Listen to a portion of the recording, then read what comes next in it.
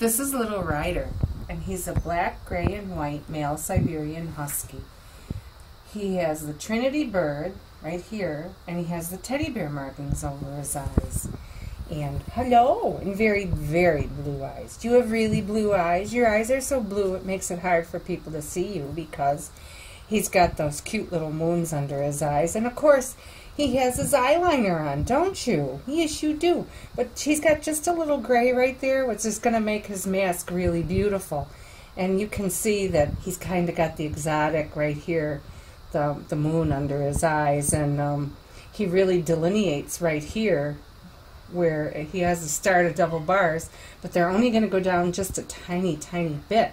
So he's going to have just a beautiful mask and mellow and sweet. He's just like his mother, and she's such a sweetie and so nice, and he's exactly like her, and he just already cuddles right into me, don't you? Is you going to be a cuddler? We just love those cuddlers, don't we? We love those little cuddly boys so.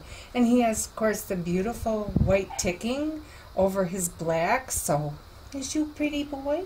I know you just want to get in my face and lick me. I know you do. You're such a cute little boy. You are just such a pretty boy. This is Ryder, and he's a beautiful little boy.